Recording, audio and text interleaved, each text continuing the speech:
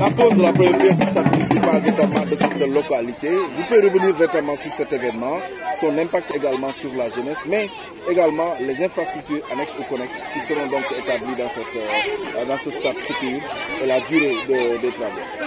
Voilà, merci beaucoup. Donc, euh, aujourd'hui, samedi, le 21 novembre 2000, euh, 2020, donc, va, va se passer très longtemps de cette date.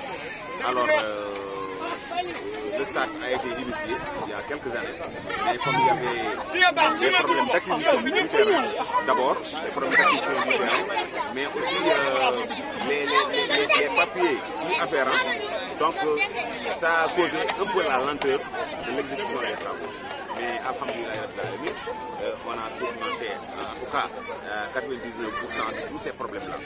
Donc le, le- promoteur va incessamment démarrer le projet va durer au maximum 18 mois. Euh, ça ne ça ne pas- prendra pas du temps.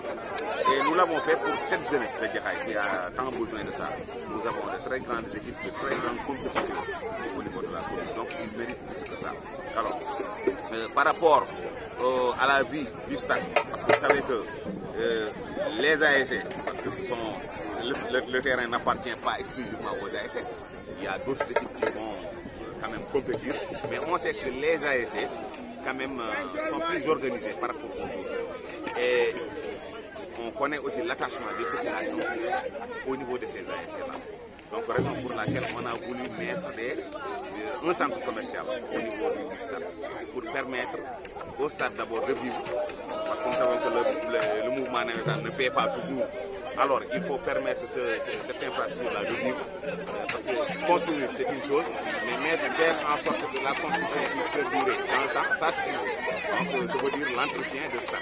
Donc, du donc, ça nécessite des moyens. Donc, nous avons mis nous allons mettre en place donc ce centre euh, commercial. Toutes les ASC qui sont dans la commune vont bénéficier de- des cantines ou des magasins qui sont mis dans ce stade. Donc cela permettra aussi aux ASC de pouvoir vivre. Parce que nous savons que toutes les ASC pratiquement sont un peu tributaires des subventions. Alors, on, on l'a entendu tout à l'heure, le maire, dans son intervention en Wolof, dire qu'il ne bénéficie pas d'appui et de soutien. Effectivement, Vous confirmez? Oui, ça se confirme parce que pouvons pas comprendre pourquoi euh, dans cette localité, en l'occurrence les quartiers, qu'on ait un ministre et que ce ministre-là ne passe tout son temps à nous mettre dans les. Alors, euh, donc c'est ça le problème. Donc nous attendions de lui, de son équipe, un peu plus d'aide parce que la population a besoin, n'a besoin que de ça. hein. La population n'a besoin que de leur soutien et de leur aide.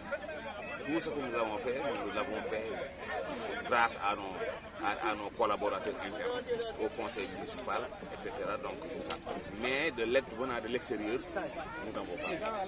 Donc alors c'est raison pour laquelle le maire s'est voilà, exprimé. Et c'est un appel que vous lancez également au chef de l'État pour que... Voilà, c'est le, c'est le, le gardien de la Constitution, le président de la République. Et, euh, et président du parti APR aussi. Parce que si nous parlons, peut-être que d'autres diront qu'il n'y a, rien à euh, bon, ça n'a rien à voir. Mais effectivement, c'est un peu lié.